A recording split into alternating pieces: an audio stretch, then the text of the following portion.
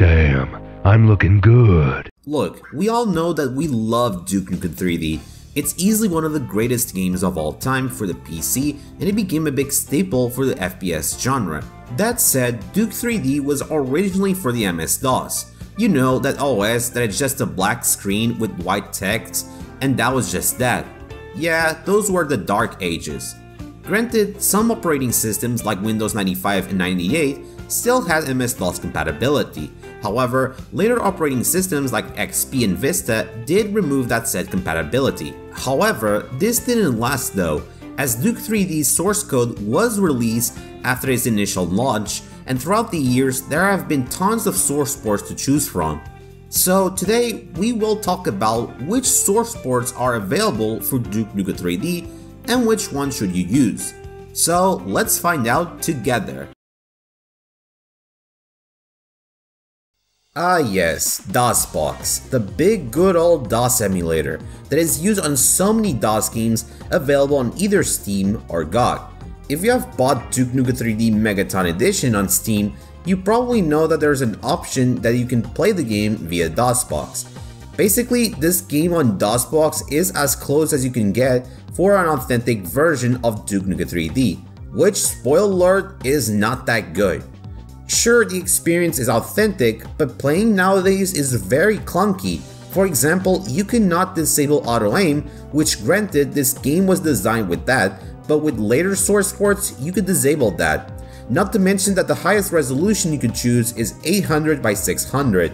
With other source ports, this limit was removed. Here's a comparison of the DOS version compared to eDuke 32.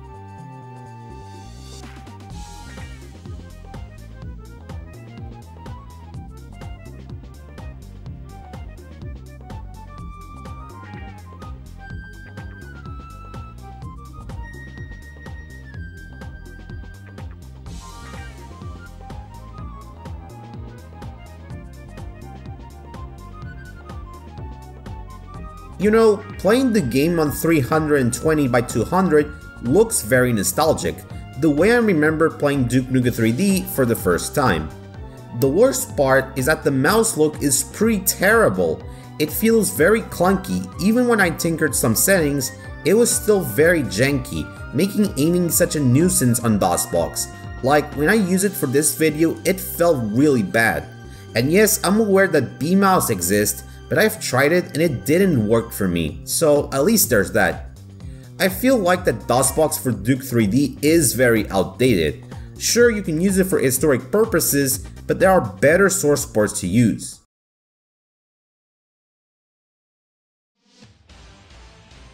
If you're a big Duke Nukem 3D fan, you probably know eDuke 32 and it's easily the most iconic source port available for the game. Released on December 2004, it was created by some employees of 3D Realms and Void Point, Richard TerminX Gobeil, Evan Hendricks 266 Hamush, and Pierre-Loup Plagman Griffais. The former went to work on Ion Fury and its expansion Aftershock, while the latter is now working on the software side of Steam Deck of all things. Now that's a huge win in my book. Anyways, what this source port offers? Well, a lot of things. For instance, it fixed numerous bugs or glitches from the vanilla version of Duke Nukem 3D, as well as better performance and less crashes. Support for newer screen resolutions from 1080p to 4K, support for many mods, most notably High Resolution Pack, and more recently the Legacy Edition. Better mouse and keyboard controls, option to turn on or off auto aim, choosing different graphic renderers like Software, Polymost, and Polymer. The last two use OpenGL, where software rendering uses the CPU, making it more taxing for high resolutions. As for Polymost and Polymer, Polymost looks pretty good and it's faithful to the original software rendering. Granted, back in the late 2000s, the colors from Polymost looked washed off. But with the recent updates, it became like software rendering, but better and faster. Polymer is a render which was created and written by Plagman, is much more demanding than the other renderers, since it uses modern shaders and dynamic lighting. In my opinion, the render looks pretty meh. Sure, I do love the concept, but the execution is pretty meh. It runs slow even on my rig.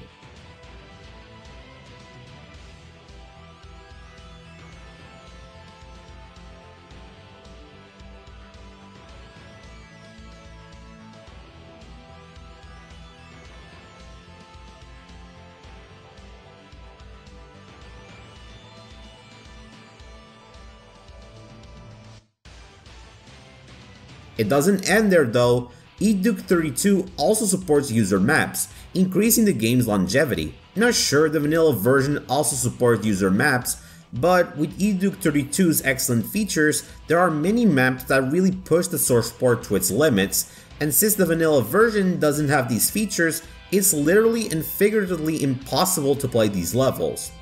One issue that I have with the source port is the lack of demo playbacks. Sure you can record your own demos, but playing these old demos when you install the game, they don't play it for some reason. I assume maybe with the bug fixes as well as some improvements, these old demos are incompatible, so there's that I guess. All in all, if you're new on how to play Duke Nukem 3D on modern systems, then eDuke 32 is the way to go. Though, if you're not into these changes and you still want that vanilla DOS experience of Duke Nukem 3D, well, there's a source port that can do that.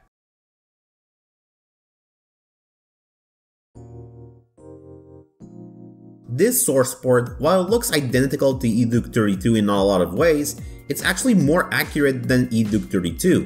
The most notable example is the doors that can crush you, which is a typical build engine feature. And in recent versions of eDuke 32, this was fixed. Now you guys might be thinking, okay cool, but is there more to it than just being accurate to the DOS version? Well yes, thanks to its accuracy, it supports demo playbacks from the Atomic Edition, which was something eDuke 32 lacked, so that's nice. But wait, there's more! This source port also supports other build engine games like Redneck Rampage and most importantly Duke Nukem 64.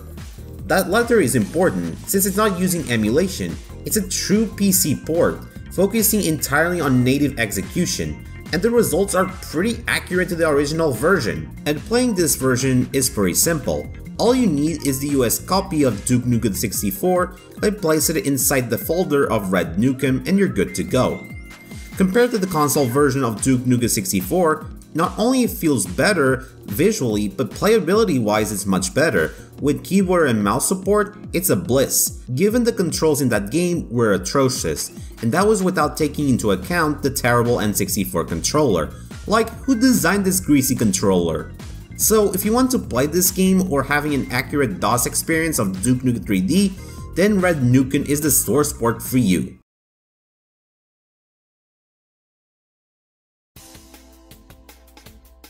Next, we have Build GDX, a source port which was originally used only for Blood, given at the time when the source port was created, Blood never had a source port of its own, since its source code was never released.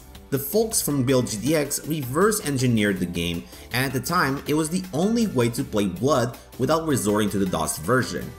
However, as time went on, Build GDX began to support other build engine titles like Duke 3D, Shadow Warrior, Red Redneck Rampage, Exhume, and even the 7 Paladins of all things. So you might be thinking, what this source port offers over the other source ports? Well, similar to Red Nukem, it also supports demo playbacks. It is also just as accurate as Red Nukem as well. Not to mention, it has three renders to choose from, Software, Polymost, and PolyGDX. Software mode is much more demanding than Poly and PolyGDX, However, the software rendering of this port runs much, much worse than the other source ports like Red Nukem and eDuke 32. So I advise to stay away from the software rendering in the source port. As for PolyGDX, the difference between Polymost and PolyGDX is that the skybox renders a bit different in the new renderer than in Polymost, as you can see in this video alongside some better performance here and there. Not to mention that just like with the other source ports, it also supports the official expansion packs like Nuclear Winter, Duke It Out in DC, and Life is a Beach. One thing I really like in this source port is that when you play one of the expansion packs, the text font in the menus changes the color to match the expansion pack that you play, which is a nice touch. Oh, and that's not all. Unlike eDuke 32 and Red Nukem, Build GDX has one thing that these two don't, is that the fact you can play the 5th episode from World Tour without using the greasy version that Steam has. Which is a huge win in my book, seeing that I don't need to play that filthy greasy version of Duke 3D just to play that episode. Overall, Build GDX is another great source port for Duke 3D with some extra whistles that other source ports don't have, especially the Episode 5 support.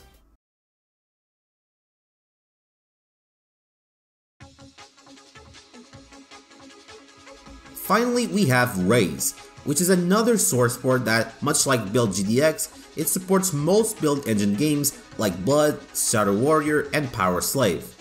And just like GDX, it also supports the 5th episode of World Tour, which again is a blessing for Duke fans like me.